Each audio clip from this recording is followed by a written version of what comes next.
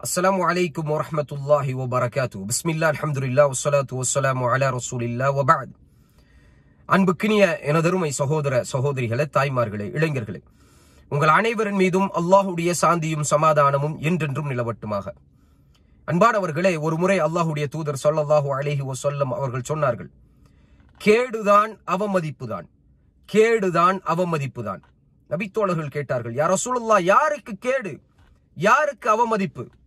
அல்லாஹுடைய தூதர் முகமது ஸல்லல்லாஹு அலஹி வசல்லம் அவர்கள் சொன்னார்கள் யாரிடம் வயதான தாய் தந்தையர் இருந்து அந்த வயதான தாய் தந்தையர்களை பேணி பாதுகாக்கவில்லையோ அவர்களோடு கண்ணியமாக நடந்து கொள்ளவில்லையோ அவருக்கு கேடுதான் அவமதிப்பு தான் என்று அல்லாஹுடைய தூதர் முகமது ஸல்லல்லாஹு அலஹி வசல்லம் அவர்கள் சொன்னார்கள். அந்த அளவுக்கு இஸ்லாமிய மார்க்கத்தில் பெற்றோரை பேணுவது என்பது மிக முக்கியமான கடமை. அல்லாஹ் சுப்ஹானஹு வ தஆலா குர்ஆன்ல சொல்றான் வ கதா ரப்புக அல்லா தஅபுது இல்லா இய்யாஹு. யாரெல்லாம் பெற்றோரை அவமதிக்கிறார்களோ யாரெல்லாம் பெற்றோருக்கு மரியாதை கொடுக்காமல் இருக்கிறார்களோ யாரெல்லாம் பெற்றோரை வீட்டை விட்டு வெளியில துரத்துறார்களோ இடையில ஒரு ஃபேஸ்புக்ல ஒரு வீடியோவை பார்த்தோம். உண்மையிலேயே மனமெல்லாம் வலிச்சது. ஒரு முஸ்லிம் குடும்பம் ஒரு முஸ்லிம் தாய் வெளியில துரத்து விட்- துரத்தி விடப்பட்டிருக்கிறாங்க. யாருனால? அந்த மகன்களாலேயே. மகன் முடித்திருக்கக்கூடிய மனைவிகளாலேயே. எப்படி சொல்லியிருக்கிறார் மகன்? என்னுடைய தாய் உனக்கு குடைச்சல் கொடுத்தா வீட்டை விட்டு வெளியில துரத்து பூட்டு போட்டுரு அப்படின்னு சொல்லியிருக்கிறார். இந்த தாய் அந்த பூட்டை போட்டு ஆட்டுறாங்க. கேட்ட துறன்னு சொல்றாங்க. எண்பதுல இருந்து தொண்ணூறு வயது இருக்கக்கூடிய இந்த தாய் வெளியில சாப்பிட்டுட்டு ஒரு வாரம் கழிச்சிருக்கிறாங்க. இந்த வேதனை தாங்க முடியாம கடைசியாக கலெக்டர் போய் மனு கொடுக்குறாங்க. இந்த மாதிரி ஒரு நிலை இது இந்த சமூகத்துக்கு வரணுமா? அல்லாஹுடைய தூதர் முகமது சல்லாஹூ அலி வசல்லத்துடைய சமூகத்துக்கு. அல்லாஹ்வுடைய தூதர் சல்லாஹூ அலி வசல்லம் அவர்கள் சொல்றாங்க கேடுதான் அவமதிப்பு தான். இந்த உலகத்திலையும் கேடு மறுமையிலும் கேடு. இந்த உலகத்திலையும் நீங்கள் நிம்மதியாக வாழ்ந்து விட முடியாது. யாரெல்லாம் பெற்றோருக்கு அவமதிக்கிறார்களோ யாரெல்லாம் பெற்றோர்களை கேவலமாக பேசுகிறார்களோ யாரெல்லாம் பெற்றோர்களுடைய கண்ணியத்தை குலைக்கிற மாதிரி நடந்துக்கிறார்களோ அவர்கள் இன்மையிலும் ஒழுங்காக வாழ முடியாது மறுமையிலும் அவங்களுக்கான எந்த ஒரு ஸ்தானமும் அந்தஸ்தும் கிடையாது. இவ்வளவு எச்சரிக்கை செய்தும் கூட இதையெல்லாம் தெரிந்தும் தெரியாம பெற்றோர்களை துரத்தக்கூடிய மகன்கள் இருக்கிறார்கள் என்றால் மிக பெரும் ஆச்சரியம். இந்த சமூகத்தில் இருக்கிறாங்க. ஆனால் உண்மை என்ன தெரியுமா? பெற்றோருக்கு மரியாதை கொடுக்காத சமூகமாக இன்றைக்கு இஸ்லாமிய சமூகம் மாறிக்கொண்டே இருக்கின்றன. சின்ன வயசு பையன் தன்னுடைய தாயை வந்து வாடி போடின்னு சொல்றான். உனக்கு அறிவு இல்லையான்னு கேட்கிறான் கேவலமாக திட்டுகின்றான். வளர்ந்த ஒரு இளைஞன் சொல்லுகின்றான் எனக்கான எதையுமே நீங்க சரியா செய்யல. நான் கேட்டு தந்த நான் வாங்கி நான் நான் எதெல்லாம் கேட்டோனோ அதெல்லாம் நீங்க வாங்கி தரல அப்படின்னு பெற்றோர்களை திட்டக்கூடிய ஒரு நிலை இன்னைக்கு சமூகத்தில் இருக்கின்றது. அல்லாஹ் பாதுகாக்க வேண்டும். எங்க போச்சு நம்மளுடைய கண்ணியம்? அல்லாஹ் சுபானுடைய தூதர் ஸல்லல்லாஹு அழகி வசல்லம் அவர்கள் சொன்னார்களே கேடுதான் அவமதிப்புதான் என்று. இதையெல்லாம் தெரிந்தா நம்மளுடைய பெற்றோர்களுடன் நாம் இப்படி நடந்து கொள்றோம். அல்லாஹ் சுபஹான வ என்ன சொல்றான்னு பாருங்க. பெற்றோர்களை வெளியில துரத்தக்கூடிய மகன்மார்களே பெற்றோர்களை சாதாரணமாக நினைக்கக்கூடியவர்களை இன்னைக்கு நீங்க சம்பாதிச்சிட்டீங்க. இன்னைக்கு ஃபாரின்ல போய் குவைத்துல போய் சவுதியில போய் நீங்க சம்பாதிச்சிட்டு அவங்களுக்கு கொடுக்கக்கூடிய காசை எண்ணி எண்ணி கொடுத்து கொண்டிருக்கின்றோமே அவர்களை காசுக்காக நம்மளுக்கு நம்ம கிட்ட கேட்கிற மாதிரி கெஞ்சுற மாதிரி நாம ஆக்கி வைத்திருக்கின்றோமே நாம இந்த வசனத்தை பார்க்கணும். அல்லாஹ் சுபஹான எந்த அளவுக்கு பெற்றோர்களை கண்ணியப்படுத்த சொல்கின்றான் முதியோர் இல்லத்துல தள்ளக்கூடிய முஸ்லீம்கள் இன்னைக்கு இருக்கிறாங்கன்னு கேள்விப்படும் போது உண்மையிலேயே உள்ளமெல்லாம் பதறுது. எப்படி பெற்றோரை எவ்வளவு கீழ்த்தரமா நினைச்சிட்டு இருக்கிறாங்க? பெற்றோர்களை வந்து வெளியில துரத்தக்கூடிய அளவுக்கு தன்னுடைய உள்ளம் இறுகிடுச்சுன்னு சொன்னா என்ன மாதிரியான சமூகத்துல நீங்க வாழ்ந்துட்டு இருக்கிறீங்க? எந்த மாதிரியான மார்க்கம் உங்களை வந்து சேர்ந்துருக்குது? இனி இன்னுமே ஜாகிலியா காலத்துல தான் இருக்கிறீங்க அப்படிங்கிறது தெளிவாக தெரியுது. அல்லாஹ் சுப்ஹானஹு நம்மை பாதுகாக்க வேண்டும். அல்லாஹ் சுப்ஹானஹு வ தஆலா கூறுகின்றான் ஒபில் வாலிதைனி இஹ்சானா. உன்னுடைய பெற்றோருக்கு நீ கண்ணியமாக நடந்து கொள். அவர்களோடு எஹசானாக நல்ல முறையில் நடந்து கொள் என்று அல்லாஹ் சொல்லிவிட்டு சொல்கின்றான். இம்மா யபுலுகன்ன இந்த கல் கிபர அஹதஹுமா அஹதுஹுமா அவு கிலாஹுமா. உங்கள அந்த பெற்றோர்ல ஒருவரோ அல்லது இருவரோ வயதான நிலையை அடைந்து விட்டால் வயதான நிலையை அடைந்து விட்டால் மிக கவனமாக நாம் இருக்க வேண்டும் என்று அல்லாஹ் சுஹானுவா தாலா சொல்கின்றான். நம்மளுடைய வார்த்தைகளை கூட நாம் அளந்துதான் பேச வேண்டும். கண்ணியமான வார்த்தையை தான் பேச வேண்டும். வார்த்தையிலேயே கண்ணியமான வார்த்தையை தான் பேச வேண்டும் என்று அல்லாஹ் சொல்கின்றான். ஃபல உஃப்.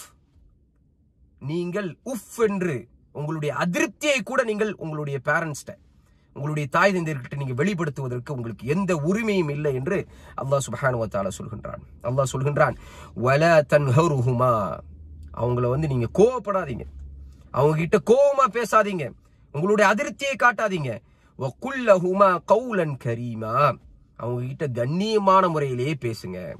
கண்ணியமான வார்த்தைகளை பயன்படுத்துங்க. வாடி போடி உனக்கு அறிவில்லையா? என்கிட்ட காசு கேட்டுட்டு இருக்கிறதே உனக்கு இதா போயிடுச்சா? போன மாசம் தானே காசு தந்த இந்த மாதிரியான வார்த்தைகள் பேசுவது என்பது ஹராம். இந்த மாதிரியான வார்த்தைகள் வாக்குவாதங்களும் தன்னுடைய தாய் தந்தையர்கள்ட்ட பண்ணுவது என்பது ஹராம் என்பதை புரிந்து கொள்ள வேண்டும். அல்லா சுபஹான வ மிக மிக மோசமான தண்டனையை சித்தப்பைத்து வைத்திருக்கின்றான். இந்த மாதிரியான வார்த்தைகளுக்கு. அப்போ காரியங்கள் வார்த்தைகளுக்கே இப்படின்னா நம்ம நடந்து கொள்ளக்கூடிய அந்த நடவடிக்கைக்கு பெற்றோரை அடிக்கக்கூடிய பெற்றோரை அடிக்கக்கூடிய மகன்கள் இருக்கிறார்கள்.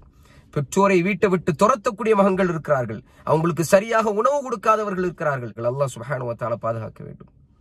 நம்ம சமூகத்தில் இருக்கிறாங்க. மனைவிக்காக பெற்றோரை திட்டக்கூடியவர்கள் மனைவிக்காக பெற்றோரை வீட்டை விட்டு வெளியில துரத்தக்கூடியவர்கள் இருக்கிறார்கள்.